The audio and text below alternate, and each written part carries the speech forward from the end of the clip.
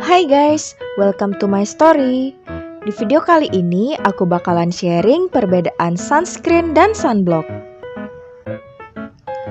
Sebelum itu, jangan lupa support channel ini ya dengan cara klik tombol subscribe dan like. Oke, tanpa berlama-lama lagi, aku mulai aja ya.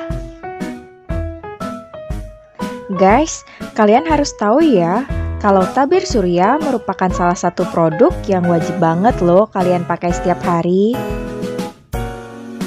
Kenapa sih kalian harus pakai tabir surya?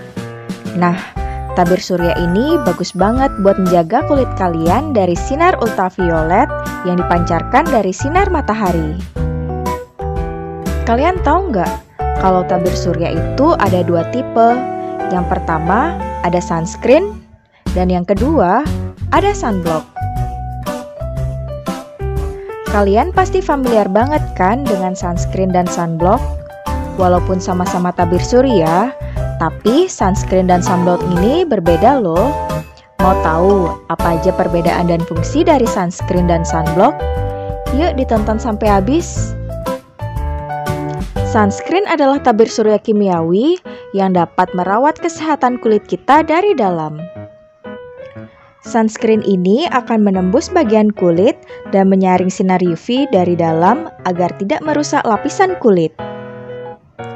Tekstur sunscreen sendiri lebih ringan atau lebih tipis sehingga terlihat tidak kasat mata saat diaplikasikan. Sunscreen ini berfungsi untuk menjaga kulit dari sinar UVA atau tipe sinar UV yang dapat mempercepat proses penuaan kulit. Yang selanjutnya, sunblock. Sunblock adalah tabir surya fisik yang menciptakan sebuah lapisan pada bagian permukaan kulit untuk menghalangi sinar UV. Tekstur sunblock cenderung lebih berat atau lebih kental. Biasanya berwarna putih susu dan kadang meninggalkan noda putih atau white cast pada kulit. Sunblock ini adalah rekomendasi perlindungan kulit terbaik kalau kalian memiliki aktivitas berjam-jam di bawah sengatan matahari seperti berenang atau bermain di pantai. Sunblock ini berfungsi melindungi kulit dari sinar UVB yang di mana sinar UVB memiliki gelombang yang lebih pendek dari sinar UVA. Nah, dari penjelasan fungsi masing-masing sunscreen dan sunblock memiliki fokus perlindungan dari jenis sinar UV yang berbeda. Atau, kalian juga bisa memilih tabir surya yang memiliki label broad spectrum yang dapat melindungi kulit dari sinar UVA dan UVB. Jadi, kalian jangan bingung lagi ya, mau memilih sunscreen atau sunblock karena keduanya memiliki manfaat yang sama bagusnya.